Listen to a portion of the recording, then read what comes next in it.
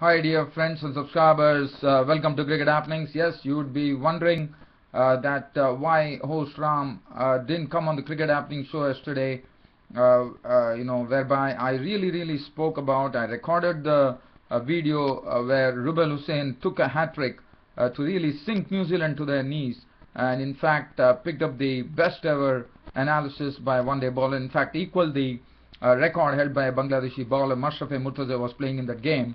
Uh, it was an identical figures of 6 for 26 and that's what Rubel Hussain did yesterday.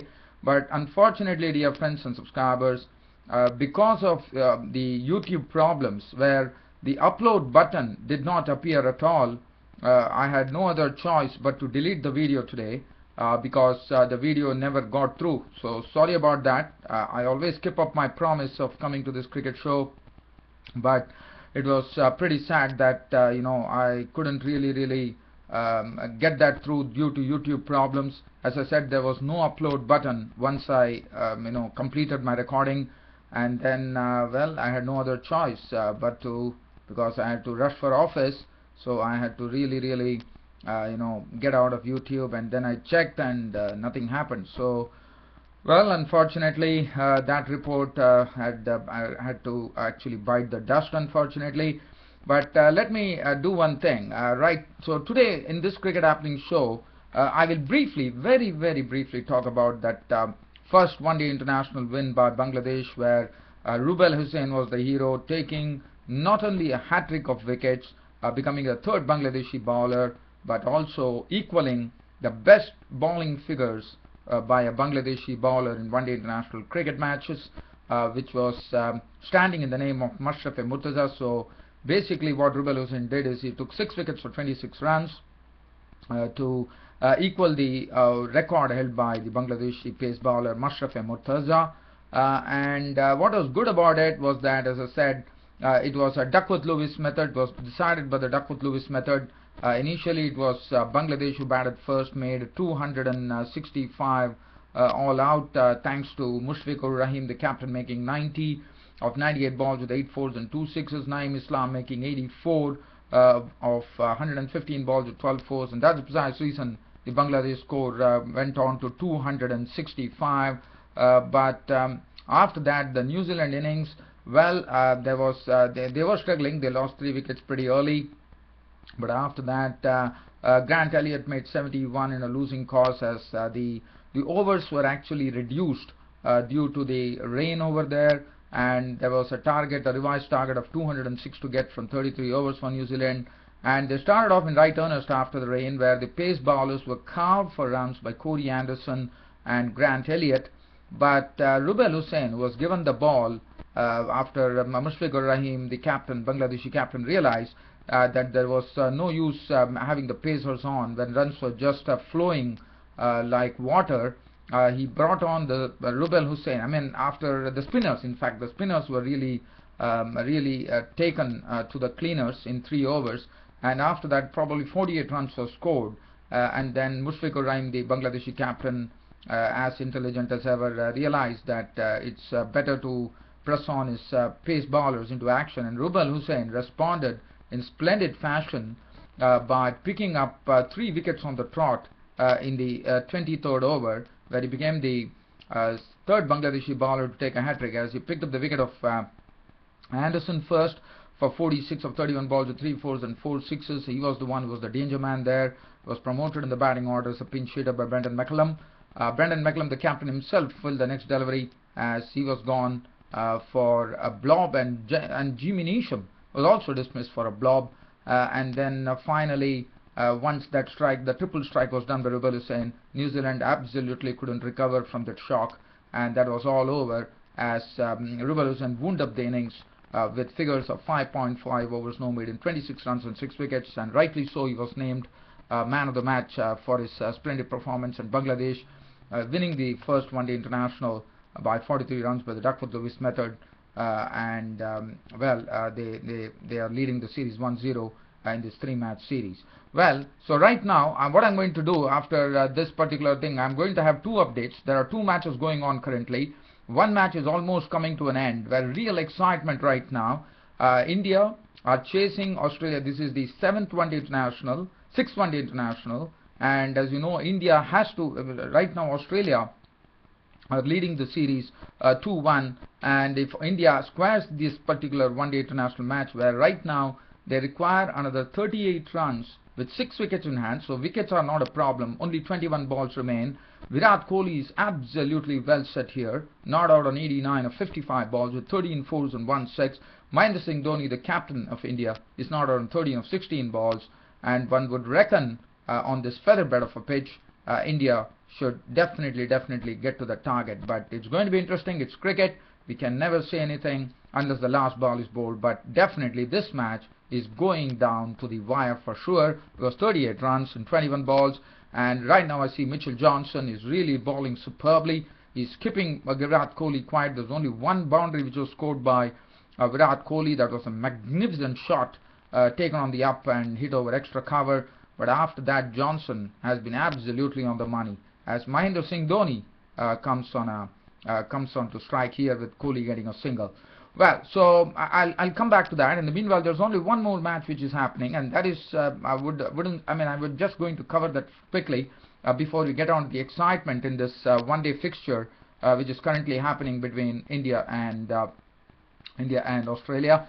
Well, South Africa and Pakistan clashed in the first one-day international match today at the Sharjah Cricket Stadium, where South Africans were the ones who were put into bat. In South Africa, well, uh, they were the ones who actually won the toss and chose to bat.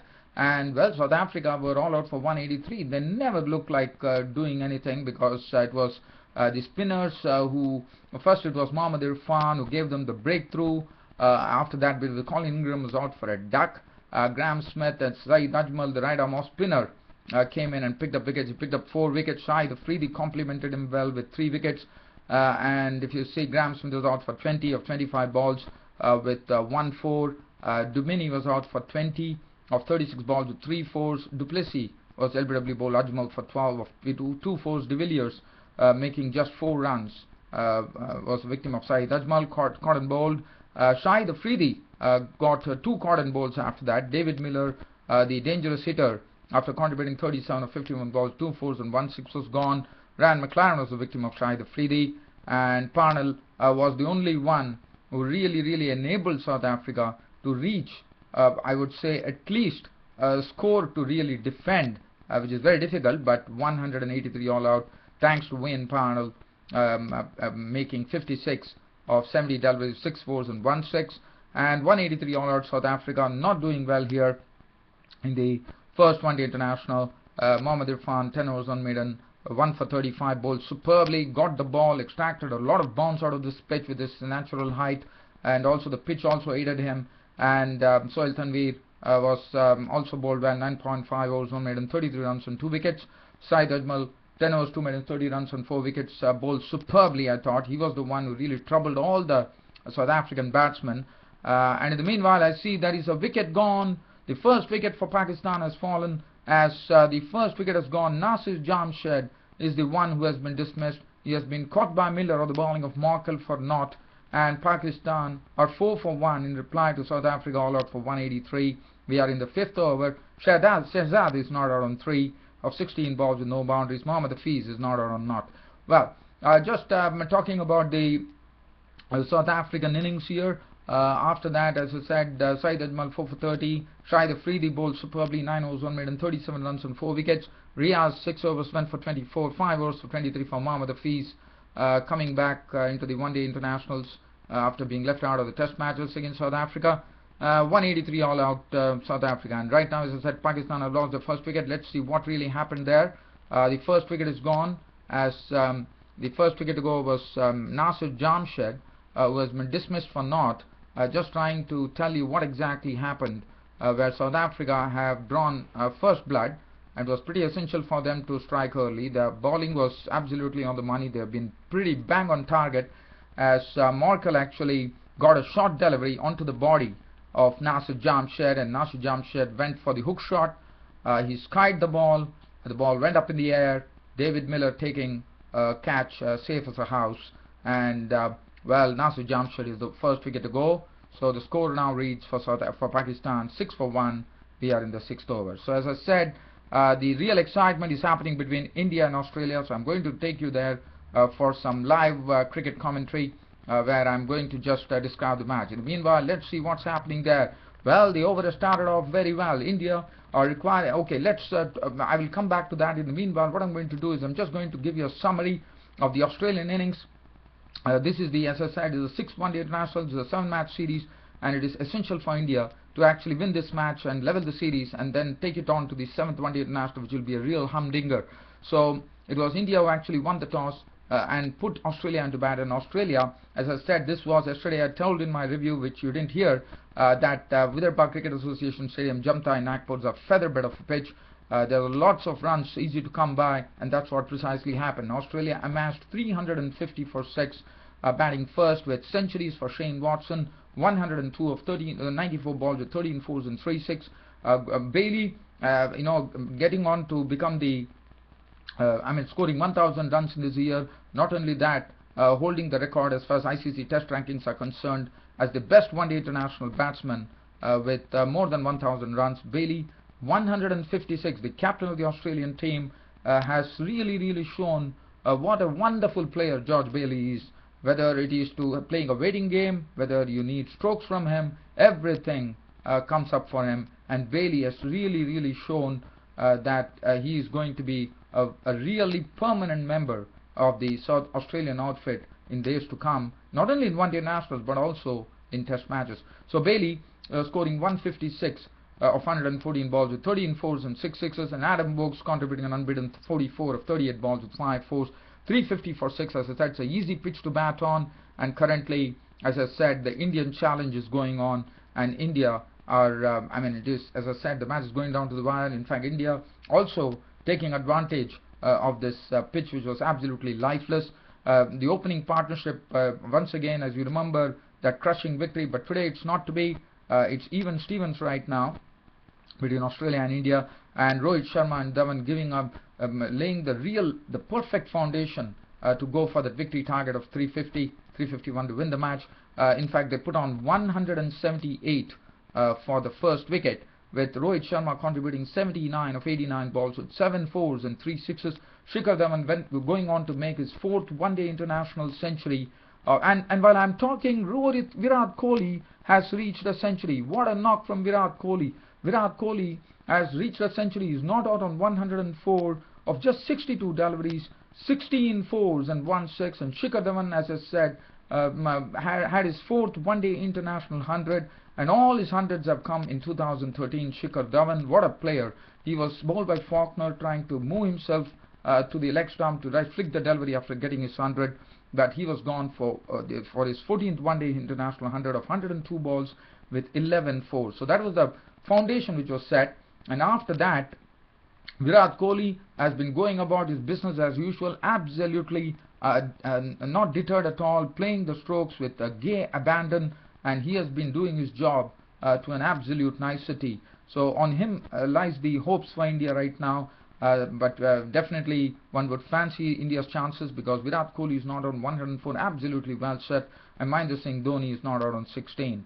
But for India, suddenly there was a spanner in the works as um, as you know, Suresh Raina and Yuvraj Singh have been haunted by Mitchell Johnson. And Mitchell Johnson, as soon as Suresh Raina came in, Mitchell Johnson was brought into the attack and Mitchell Johnson struck gold for Australia there with uh, taking two wickets uh, in uh, two in in the, in the same over as uh, first he had Suresh Raina caught by Brad Haddin of the bowling of Johnson for 16 of 15 balls to two fours and Yuvraj Singh uh, was um, uh, gone as he was clean bowled as he tried to play at a delivery which was which beat Yuvraj Singh for pace and he was castled by Johnson for not uh, and so Suresh Raina and Yuvraj Singh continuing to have their problems against Mitchell Johnson and India uh, were 290 for 4 but after Dhoni's uh, uh Dhoni coming in uh, things have I wouldn't say uh, I mean all the strike has been taken by Virat Kohli and right now I'm going to take you down to the center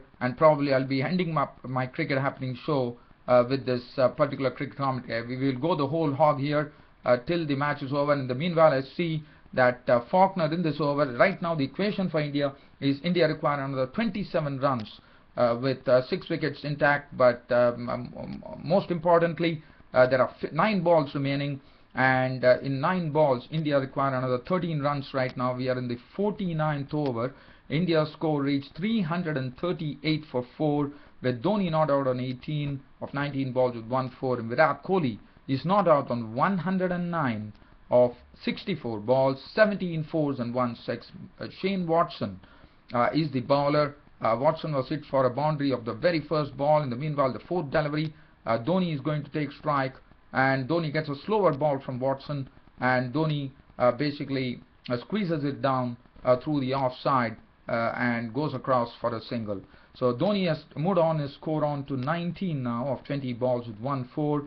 Virat Kohli is not out on 109 of 64 balls, 17 fours and 1 sixes. You know, Virat Kohli uh, has this has been his second century in this one-day international series. He already holds the proud record of being the fastest Indian batsman, the Indian batsman uh, scoring the fastest century in this one day national series. Watson bowls to Kohli and Kohli has hit this boundary hit a boundary and that's very very useful runs coming in for India. Now the gap is really really narrowing as India are really really going for victory. Only 8 runs separate India from victory now uh, and 7 balls are remaining. Uh, so Watson bowling to Kohli. Kohli hits a 4 of the 5th delivery.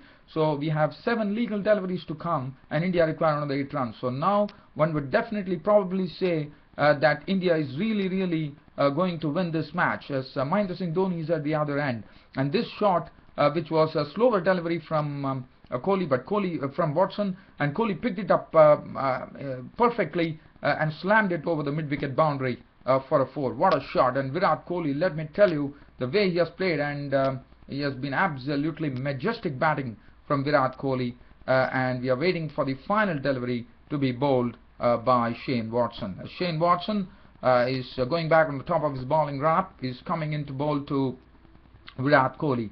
Uh, this is the final delivery which is coming up from Shane Watson and Kohli will be taking strike as India require another 8 runs with 6 wickets and 7 balls remaining.